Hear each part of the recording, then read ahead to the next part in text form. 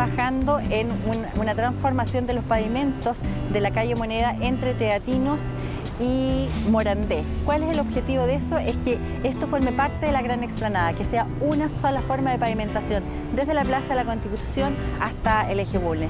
Se van además subir las veredas de manera que sea un solo nivel y que las personas puedan caminar por este barrio con tranquilidad y disfrutando además de un bonito eh, desarrollo urbano.